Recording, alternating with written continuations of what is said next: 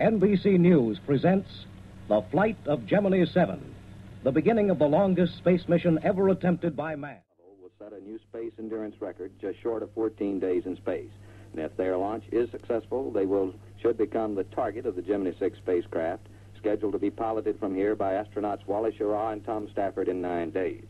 The two spacecraft will fly in formation through orbit after Gemini 6 conducts, conducts man's first rendezvous in space. A successful endurance and rendezvous mission by the four astronauts will confirm space planners have adopted a good plan to place two Americans on the moon before the end of the decade. Now back to Gemini Control.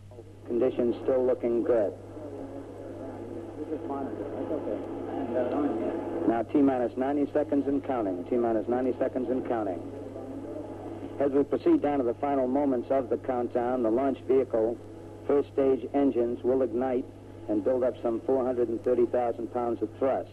When 77% of this thrust is reached, the launch vehicle is released from the pad. All this takes a matter of seconds, some two and a half to three seconds. That's Gemini uh, Control. one minute and counting. T minus one minute and counting. Jack King. Now we go up to Russ Ward on our observation balcony. Jay, the, uh, luckily, luckily the rain has stopped, but it's quite breezy up here where we are right now. We have a beautiful view of the rocket over on pad 19, the umbilical tower next to it. You,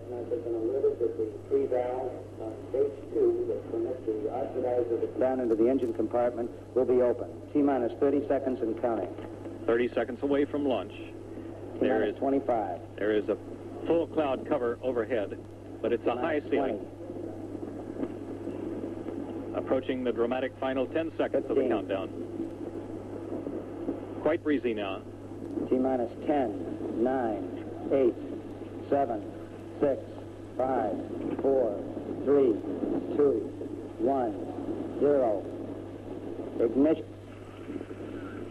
Engine start. We have a liftoff at 30 minutes and about 5 seconds after the hour.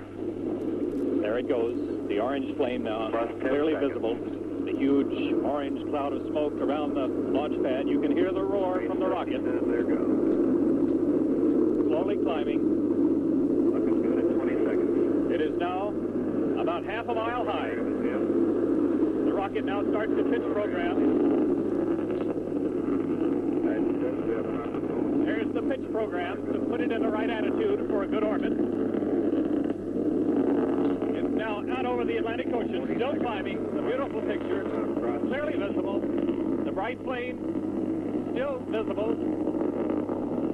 Climbing toward that 11,000 foot cloud cover, still climbing. About three miles high now. Both astronauts have now released the D ring. Seconds squared.